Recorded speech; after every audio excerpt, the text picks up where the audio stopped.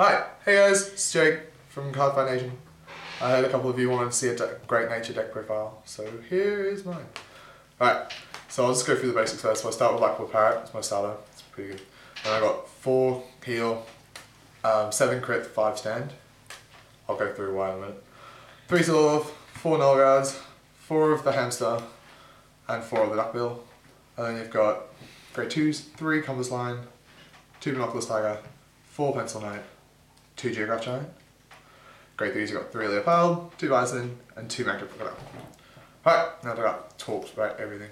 Okay, so I start with Blackboard Parrot because he is ultimately the best starter for Great Nature at the moment.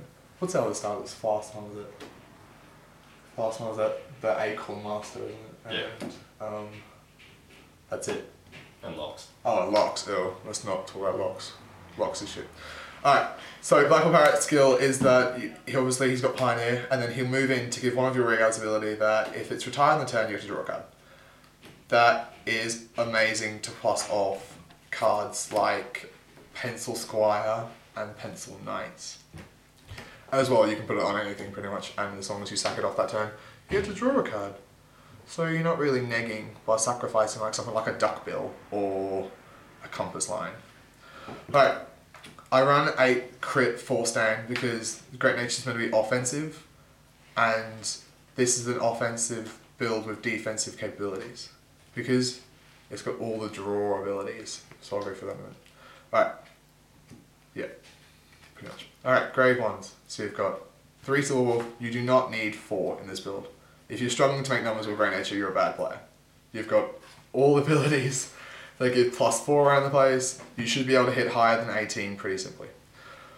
Four nulls, because you actually draw a fair bit in this deck, so four nulls is not such a bad thing. Plus, you can always kill one if you need to.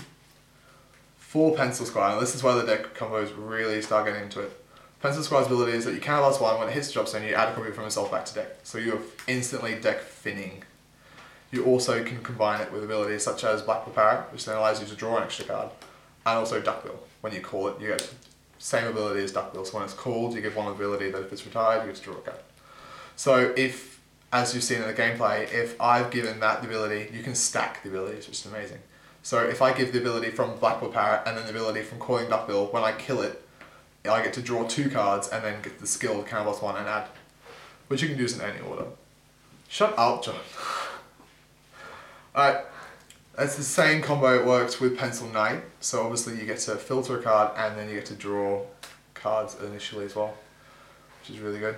You've got um, the cards that kill cards. Obviously, is you got your compass lion. The reason he's good is because he's an 11k, so he's gonna hit easily to 18 even with like a duckbill behind him, or you can give any of the abilities plus four. So yeah, it's pretty good. However, late game he's not too great because you use them to initially stack off these ones so they get the possibilities off. Not in the late game because otherwise you have to start killing units that you can't use because you've used already cannot last. And that's where he starts getting and you just intercept with him or something. You got two binoculars tigers. You get the choice when it attacks a vanguard circle, give attack vanguard. You get plus four thousand to a rearguard and then it's killed. This is where you start making your numbers higher than eighteen, so you can start hitting those crossfires such as Dote and PBO, which is really helpful. You also obviously give plus four to these guys, sack it off, draw cards, filter cards, whatever. Two Geograph Giant, you do not need any more than two. He's not really necessary. You've got Compass Lion that's an 11 straight up, and he's got the kill to sacrifice a card. You don't need to run any of these 10k generics. Um, they don't do anything. They're actually just a waste.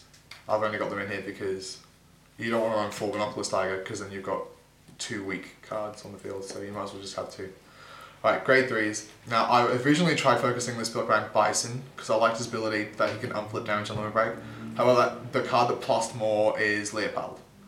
Just because he's got the fact that he can give plus four to a rear guard and then sack it off without having to use any counterblast. And then my counterblast one you call back to the field. So comboing, you could go when you're on limit break with that. You've got a grade one on the field. You could call, use your duck bill, your parrot on your grade one. Your duck bill call one on your grade one. Give it plus four thousand. So if it's behind vanguard, you're hitting for twenty, or you're hitting higher than eighteen on any rear guard. The end of the turn, you sacrifice it. Counterblast one. Add a copy back. Draw two cards, and then limit break to call it back to the field, so you can do it all again next turn.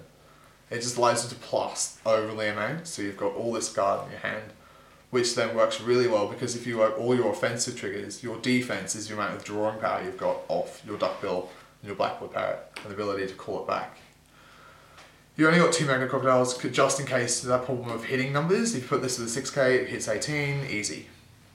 You can also call like a Ruler Chameleon behind it and give that plus 4 and it's only hitting over 18 anyway. Alright? And that is the deck profile. Was there any questions you want to ask? Why no stamp bottle? Oh, stamp bottle. no, bad card. Um, because yeah, okay, you can give it plus four thousand and it stays there, so it's a ten k booster pretty much. It's okay, but um, Great Nature's main ability is to plus cards by sacrificing them and then adding them back to hand. So why would you give plus four thousand to a card that you can't kill, especially if you know that if you kill like this with any of those abilities on, you get to at least filter. oh, sorry. Yeah. Why am I dying? Alright guys, that's it. Remember to comment, like, and subscribe, and we'll see you in the next one.